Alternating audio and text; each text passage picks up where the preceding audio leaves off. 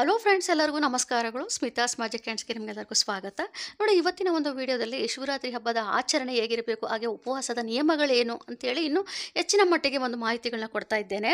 ನಿಮಗೆ ಈಗ ಒಂದೇ ಒಂದು ಮಾಹಿತಿ ಕೊಡಬೇಕು ಅನ್ನೋದಾದರೆ, ಹಿಂದೂ ಧರ್ಮದಲ್ಲಿ ಶಿವನ ಆರಾಧನೆಗೆ ತುಂಬ ಮಹತ್ವವಿದೆ. ಈಗಾಗಲೇ ನಿಮಗೆ ಗೊತ್ತಿರೋ ಹಾಗೆ ಹದಿನೆಂಟನೇ ತಾರೀಕು ಶನಿವಾರ ನಾವು ಈ ಒಂದು ಶಿವರಾತ್ರಿ ಹಬ್ಬವನ್ನು ಆಚರಣೆ ಮಾಡ್ತೇವೆ.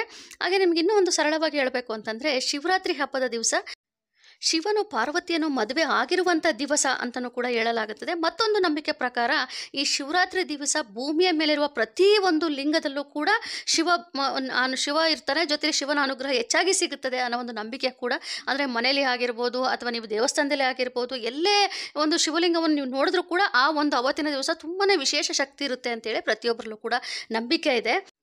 ನೋಡಿ, ಶಿವರಾತ್ರಿ ಹಬ್ಬದ ದಿವಸ ಶಿವನ ಧ್ಯಾನ ಜೊತೆಲಿ ಉಪವಾಸಕ್ಕೆ ತುಂಬಾ ಮಹತ್ವವಿದೆ. ಹಾಗೆ ಶಿವರಾತ್ರಿ ಹಬ್ಬದ ದಿವಸ ನೀವು ಸ್ನಾನ ಮಾಡಬೇಕಾದ್ರೆ ಎಳ್ಳನ್ನು ಹಾಕಿಕೊಂಡು, ಕಪ್ಪು ಎಳ್ಳನ್ನು ಹಾಕಿಕೊಂಡು ಸ್ನಾನ ಮಾಡುವುದು ತುಂಬಾ ಒಳ್ಳೆಯದು. ಅವತ್ತಿನ ಕೆಲವೊಬ್ಬರು ಪುಣ್ಯ ನದಿಗಳಿಗೆ ಹೋಗಿ ಕೂಡ ಸ್ನಾನ ಮಾಡ್ತಾರೆ. ಆದರೆ ನೀವು ಮನೆಯಲ್ಲೇನೆ ಮಾಡೋದ್ರಿಂದ ಸ್ವಲ್ಪ ನೀವು ಎಳ್ಳನ್ನು ಹಾಕ್ಕೊಂಡು ಸ್ನಾನ ಮಾಡಬೇಕಾಗುತ್ತೆ. ಜೊತೆಲಿ ಶುದ್ಧವಾದ ಬಟ್ಟೆನ ಹಾಕ್ಕೊಂಡು ಅವತ್ತಿನ ದಿವಸ ನಾವು ಶಿವನ ಧ್ಯಾನ ಮಾಡಬೇಕು. ಶಿವನಿಗೆ ಆಡಂಬರ ಇಷ್ಟ ಆಗೋದಿಲ್ಲ.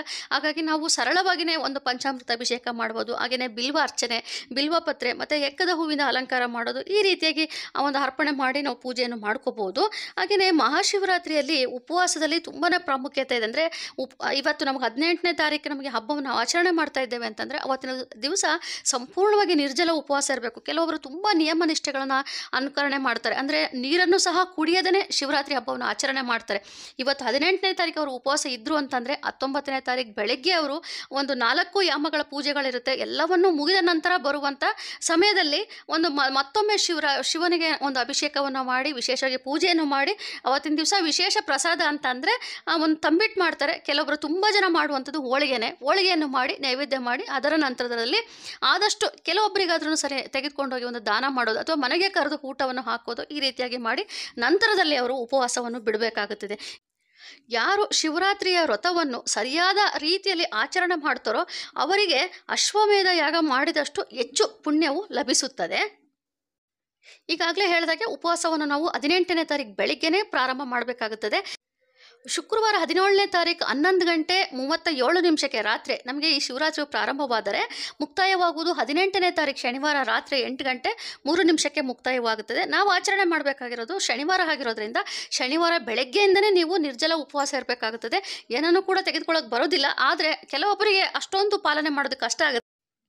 ನೋಡಿ ಸ್ವಲ್ಪ ವಯಸ್ಸಾದಂಥವರು ಹಾಗೆಯೇ ಅದರ ಜೊತೆಲೆ ಗರ್ಭಿಣಿಯರು, ಬಾಣಂತಿಯರು ಹಾಗೆಯೇ ಮಗುವಿಗೆ ಹಾಲನ್ನು ಕೊಡ್ತಾ ಇರುವಂಥವರು, ಅದರ ಜೊತೆಯಲ್ಲಿ ಆರೋಗ್ಯದಲ್ಲಿ ತೊಂದರೆ ಇರುವಂಥವರು ಉಪವಾಸ ಮಾಡೋದು ಬೇಡ. ಆದಷ್ಟು ಅವತ್ತಿನ ದಿವಸ ನೀವು ಅವಲಕ್ಕಿ, ಉಪ್ಪಿಟ್ಟು, ಸಾಬುದಾನ, ಕಿಚಡಿ ಈ ರೀತಿಯಾಗಿ ನೀವು ತೆಗೆದುಕೋಬೋದು. ಆಮೇಲೆ ಮತ್ತೊಂದು ಮಾಹಿತಿ ಏನಪ್ಪ ಅಂತಂದರೆ, ಬೆಳಗ್ಗೆಯಿಂದ ಹಾಲು ಹಣ್ಣನ್ನು ತೆಗೆದುಕೊಂಡು ಉಪವಾಸ ಆಚರಣೆ ಮಾಡಿರ್ತೀರಿ. ಆದರೆ ರಾತ್ರೆಲ್ಲ ಜಾಗರಣೆ ಮಾಡಬೇಕಾಗಿರೋದ್ರಿಂದ ಕೆಲವೊಬ್ಬರಿಗೆ ರಾತ್ರಿ ಉಪವಾಸ ಇರೋದು ಕಷ್ಟ ಆದಾಗ, ರಾತ್ರಿ ನೀವು ಒಂದು ಮಹಾ, ಒಂದು ಮಹಾಮಂಗಳಾರತಿ ಮಾಡಿ, ಒಂದು ದೀಪಾರಾಧನೆ ಮಾಡಿದ ನಂತರ ನೀವು ಒಂದು ಅವಲಕ್ಕಿ ಅಥವಾ ಸಾಬುದಾನ ಕಿಚಡಿ ಈ ಥರ ಒಂದು ಉಪ್ಪಿಟ್ಟು ಈ ಥರ ತೆಗೆದುಕೋಬೋದು. ಆದರೆ ಅದಕ್ಕೆ ಈರುಳ್ಳಿ, ಬೆಳ್ಳುಳ್ಳಿಯನ್ನು ನಾವು ಉಪಯೋಗಿಸೋದಕ್ಕೆ ಬರೋದಿಲ್ಲ.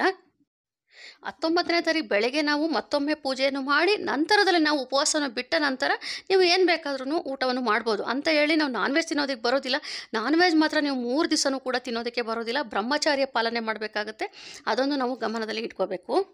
ಆದರೆ ಯಾರು ನಿಷ್ಠೆಯಿಂದ ಅವತ್ತಿನ ದಿವಸ ಸಂಪೂರ್ಣವಾಗಿ ಉಪವಾಸ ಇದ್ದು ಶಿವರಾತ್ರಿ ಹಬ್ಬವನ್ನು ಆಚರಣೆ ಮಾಡ್ತಾರೋ ಅವರು ರಾತ್ರೆಲ್ಲ ಜಾಗರಣೆ ಮಾಡಲೇಬೇಕು. ಜಾಗರಣೆ ಮಾಡಿ ಮಾರನೇ ದಿವಸ ಅಂದರೆ ಹತ್ತೊಂಬತ್ತನೇ ತಾರೀಕು ಬೆಳಿಗ್ಗೆ ಪಾರಣ ಸಮಯ ಅಂತಂದರೆ ಉಪವಾಸ ಬಿಡುವ ಸಮಯದಲ್ಲಿ ಆ ಉಪವಾಸವನ್ನು ಬಿಡಬೇಕಾಗುತ್ತದೆ. ಇದಿಷ್ಟು ನೀವು ಶಿವರಾತ್ರಿ ಹಬ್ಬದಲ್ಲಿ ಆಚರಣೆ ಮಾಡಿದ್ದೇ ಆದಲ್ಲಿ ನಿಮ್ಮ ಸಂಕಲ್ಪವು ಬೇಗನೆ ಈಡೇರುತ್ತದೆ. ಈಗ ಮದುವೆ ಆಗಿರುವಂಥವರು ಮನೆಯಲ್ಲಿ ಶಾಂತಿ, ಸಮೃದ್ಧಿ, ನೆಮ್ಮದಿ ಇರಲಿ ಅಂತೇಳಿ ಉಪವಾಸವನ್ನು ಆಚರಣೆ ಮಾಡ್ತಾ ಇರ್ತಾರೆ ಒಂದು ಸಂಕಲ್ಪ ಮಾಡಿಕೊಂಡು. ಹಾಗೆಯೇ ಅವಿವಾಹಿತರು ಅವು ಒಂದು ಒಳ್ಳೆಯ ರೀತಿಯಲ್ಲಿ ನಮಗೆ ಒಂದು ಅವರಿಗೆ ಸರಿಯಾದ ಒಂದು ಯೋಗ್ಯತೆ ರೀತಿಯಲ್ಲಿ ಒಂದು ವರ ಸಿಗಲಿ ಅಥವಾ ವಧು ಸಿಗಲಿ ಅಂತೇಳಿ ಒಂದು ಸಂಕಲ್ಪ ಮಾಡಿಕೊಂಡು ಕೂಡ ಉಪವಾಸವನ್ನು ಆಚರಣೆ ಮಾಡ್ಬೋದು. ನೀವು ಉಪವಾಸ ಮಾಡಿದರ ಅದು ಸಂಪೂರ್ಣ ಫಲ ಸಿಗಬೇಕು ಅಂತಂದರೆ ಜಾಗರಣೆ ಮಾಡಲೇಬೇಕಾಗುತ್ತೆ. ಜಾಗರಣೆ ಅಂತಂದರೆ ಏನೋ ಒಂದು ಟಿ ವಿಯಲ್ಲಿ ಹಾಕ್ಕೊಂಡು ನೋಡೋದು ಆ ರೀತಿಯಲ್ಲ. ಆದಷ್ಟು ದೇವಸ್ಥಾನಕ್ಕೆ ಹೋಗಿ ನೀವು ಜಾಗರಣೆ ಮಾಡಿದ್ರೆ ಅಂದರೆ ಅಲ್ಲಿ ಶಿವನ ಧ್ಯಾನ ಮಾಡಿದ್ರೆ ಅದರ ಸಂಪೂರ್ಣ ಫಲ ಸಿಗ್ತಾ ಹೋಗುತ್ತದೆ. ಎಲ್ಲರೂ ಕೂಡ ದೇವಸ್ಥಾನಕ್ಕೆ ಹೋಗೋದಕ್ಕೆ ಆಗದೆ ಹೋದಾಗ ನೀವು ಮನೆಯಲ್ಲೇ ನಾಲ್ಕು ಯಾಮ ಪೂಜೆಗಳನ್ನ ಮಾಡಬೇಕಾಗುತ್ತದೆ. ಅದರ ಸಮಯವನ್ನು ನಾನು ಮುಂದಿನ ಒಂದು ವಿಡಿಯೋದಲ್ಲಿ ತಿಳಿಸ್ಕೊಡ್ತೇನೆ. ಯಾಕಂದರೆ ಅದರ ಸಮಯ ಕೂಡ ತುಂಬ ಮುಖ್ಯವಾದದ್ದು. ನಾಲ್ಕು ಯಾಮ ಅಂತಂದರೆ ನಾಲ್ಕು ಪ್ರಹಾರಗಳಲ್ಲಿ, ನಾಲ್ಕು ಸಮಯದಲ್ಲಿ ಬರುವಂಥ ಪೂಜೆ ಅದು. ಅದರ ಒಂದು ಸಮಯವನ್ನು ವಿಧಾನವನ್ನು ಕೂಡ ನಾನು ನಿಮಗೆ ತಿಳಿಸ್ಕೊಡ್ತೇನೆ. ಆ ಸಮಯದಲ್ಲಿ ಒಂದೊಂದು ಸಮಯದಲ್ಲೂ ಒಂದೊಂದು ರೀತಿಯ ಅಭಿಷೇಕ, ಅರ್ಚನೆ, ಹಾಗೆ ದೀಪಾರಾಧನೆ ಮಾಡಿ ನಂತರದಲ್ಲಿ ಹತ್ತೊಂಬತ್ತನೇ ತಾರೀಕು ಬೆಳಗ್ಗೆ ನೀವು ಮತ್ತೊಮ್ಮೆ ಶಿವನಿಗೆ ವಿಶೇಷವಾಗಿ ಪೂಜೆಯನ್ನು ಮಾಡಿ, ನೈವೇದ್ಯ ಮಾಡಿ, ಆಮೇಲೆ ನೀವು ಉಪವಾಸವನ್ನು ಬಿಡಬೇಕಾಗುತ್ತದೆ. ಹಾಗೆ ನೀವು ಉಪವಾಸ ಮಾಡಬೇಕಾದ್ರೆ ನಾವು ಕೆಲವೊಂದು ನಿಯಮಗಳನ್ನು ಪಾಲನೆ ಮಾಡಲೇಬೇಕಾಗುತ್ತೆ. ಅಂದರೆ ಮನಸ್ಸಿನಲ್ಲಿ ಒಂದು ಕೆಟ್ಟ ಆಲೋಚನೆಗಳು ಕೆಲವೊಬ್ಬರಿಗೆ ಆಲೋಚನೆಗಳು ಬರ್ತಾ ಇರುತ್ತೆ. ಅದೆಲ್ಲವನ್ನೂ ಕೂಡ ಮಾಡೋದಕ್ಕೆ ಹೋಗಬಾರ್ದು.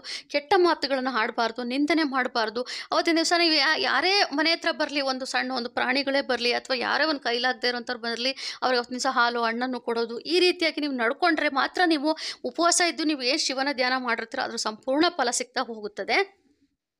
ಈ ರೀತಿಯಾಗಿ ನೀವು ಶಿವರಾತ್ರಿ ಹಬ್ಬ ಆಚರಣೆ ಮಾಡೋದ್ರಿಂದ ನೀವು ಒಂದು ವ್ರತವನ್ನು ಪಾಲನೆ ಮಾಡೋದ್ರಿಂದ ನಿಮ್ಮ ಒಂದು ದಿನನಿತ್ಯದ ಬದುಕಿನಲ್ಲಿ ಆಗು ಹೋಗುಗಳು ಏನಾದರೂ ನೀವು ಒಂದು ಕಷ್ಟಗಳು ಅಂತ ಅಂದ್ಕೊಂಡಿದ್ರೆ ಅದರ ಒಂದು ಬದಲಾವಣೆಗಳು ಕಾಣ್ತಾ ಹೋಗ್ತೀರಿ. ಹಾಗೆಯೇ ಉಪವಾಸವನ್ನು ಮಾಡೋದ್ರಿಂದ ನಮ್ಮನ್ನು ನಾವು ಒಂದು ನಿಯಂತ್ರಿಸುವ ಒಂದು ಸಾಮರ್ಥ್ಯ ಬೆಳೆಸ್ಕೊಳ್ತೀವಿ. ಉಪವಾಸದ ಅರ್ಥವೇನಪ್ಪ ಅಂತಂದರೆ ದೇವರಿಗೆ ನಾವು ಹತ್ತಿರವಾಗುವುದು ಅಂತೇಳಿ. ಅಂದರೆ ದೇವರ ಬಗ್ಗೆ ನಾವು ಚಿಂತನೆ ಮಾಡುವುದು. ಯಾರೆಲ್ಲ ಒಂದು ಶಿವರಾತ್ರಿ ದಿವಸ ಉಪವಾಸ ಇದ್ದು ಜಾಗರಣೆ ಮಾಡಿ ಶಿವನ ಧ್ಯಾನ ಮಾಡ್ತಾರೋ ಅವರಿಗೆ ಮೋಕ್ಷ ಸಹ ಪ್ರಾಪ್ತವಾಗುತ್ತದೆ ಅಂತೇಳಿ ಭಕ್ತರಲ್ಲಿ ತುಂಬ ಬಲವಾದ ನಂಬಿಕೆ ಹಾಗೆ ನಾವು ಎಷ್ಟು ಒಂದು ನಂಬಿಕೆ ಇಟ್ಟು ಶಿವನಲ್ಲಿ ಪ್ರಾರ್ಥನೆ ಮಾಡ್ತೇವೋ ಶಿವ ಅಷ್ಟೇ ನಮಗೆ ಬೇಗನೆ ಅನುಗ್ರಹ ಮಾಡ್ತಾನೆ. ಹಾಗಾಗಿ ಅವತ್ತಿನ ದಿವಸ ನಾವು ಏನೆಲ್ಲ ನಾವು ಉಪವಾಸಗಳಿದ್ದು ನಾವು ಶಿವನ ಧ್ಯಾನ ಮಾಡ್ತಾ ಹೋಗ್ತೀವೋ, ಶಿವ ಒಂದು ಶಿವ ಪಂಚಾಕ್ಷರಿ ಮಂತ್ರ, ಶಿವನ ಒಂದು ಸಹಸ್ರನಾಮ ಹೇಳ್ಕೊಳ್ಳೋದು, ಈಗಿನ ಅದ್ರ ಬಗ್ಗೆ ನಾನು ಇನ್ನೂ ಮುಂದಿನ ವಿಡಿಯೋಗಳಲ್ಲಿ ಮಾಹಿತಿಗಳು ಕೊಡಬೇಕು ಅಂತ ಅಂದ್ಕೊಂಡಿದ್ದೇನೆ ಆದಷ್ಟು ಬೇಗ ಪ್ರತಿಯೊಂದರ ಬಗ್ಗೆನೂ ಕೊಡ್ತಾ ಹೋಗ್ತಾನೆ. ಅದು ಎಲ್ಲವನ್ನು ನೀವು ಹೇಳ್ಕೊಂಡಾಗ ನಿಮ್ಮ ಜೀವನದಲ್ಲಿ ಒಂದು ಸುಖ, ಶಾಂತಿ, ಸಮೃದ್ಧಿ ದೊರೀತಾ ಹೋಗುತ್ತದೆ. ನೋಡಿ ನಾವು ಶಿವನಿಗೆ ನೀವು ಏನೇ ಒಂದು ಅಲಂಕಾರ ಮಾಡಿ, ಯಾವುದೇ ರೀತಿಯ ಪೂಜೆ ಮಾಡಲಿ, ಸ್ವಲ್ಪ ಮಟ್ಟಿಗಾದರೂ ನೀವು ಬಿಲ್ವಪತ್ರೆನೂ ತೆಗೆದುಕೊಂಡು ಬಂದು ಅರ್ಪಣೆ ಮಾಡಲೇಬೇಕಾಗುತ್ತೆ. ಯಾಕಂದರೆ ಶಿವನಿಗೆ ಬಿಲ್ವಪತ್ರೆ ಆ ಒಂದು ಬಿಲ್ವಪತ್ರೆ ಇಲ್ಲದೆ ಹೋದಾಗ ನಮಗೆ ಈ ಪೂಜೆಯು ಕೂಡ ಒಂದು ಅಪೂರ್ಣವಾಗ್ತಾ ಹೋಗುತ್ತದೆ. ಹಾಗಾಗಿ ನಾವು ಒಂದು ಬಿಲ್ವಪತ್ರೆನೂ ಯಾವ ರೀತಿ ಅರ್ಪಣೆ ಮಾಡಬೇಕು, ಅದರ ಅರ್ಪಣೆ ಮಾಡಬೇಕಾದ್ರೆ ಕೆಲವೊಂದು ನಾವು ನಿಯಮಗಳನ್ನು ಪಾಲನೆ ಮಾಡಲೇಬೇಕಾಗುತ್ತದೆ. ಅಂದರೆ ಯಾವ ರೀತಿ ಅರ್ಪಣೆ ಮಾಡಬೇಕಪ್ಪ ಅಂತಂದರೆ ಸಾಮಾನ್ಯವಾಗಿ ನಿಮಗೆ ಗೊತ್ತಿದೆ ನಾವು ಯಾವುದೇ ಒಂದು ಪೂಜೆ ಮಾಡಲಿ, ಶಿವನ ಪೂಜೆ ಮಾಡಬೇಕಾದ್ರೆ ನಾವು ಬಿಲ್ಪತ್ರೆ ಇಲ್ಲದೇ ಪೂಜೆ ಮಾಡೋದೇ ಇಲ್ಲ. ಅಂಥ ಸಮಯದಲ್ಲಿ ನೀವು ಏನು ಮಾಡಬೇಕಂದ್ರೆ ಮೂ, ಅದು ಬಿಲ್ವಪತ್ರೆ ಯಾವ ರೀತಿ ಇರುತ್ತೆ ಅಂದರೆ ನಿಮಗೆ ಗೊತ್ತಿದೆ ಮೂರು ಎಲೆಗಳು ಕೂಡ ಒಟ್ಟಿಗೆ ಇರುತ್ತೆ ಅಂದರೆ ಜಾಯಿಂಟ್ ಆಗಿರುತ್ತೆ.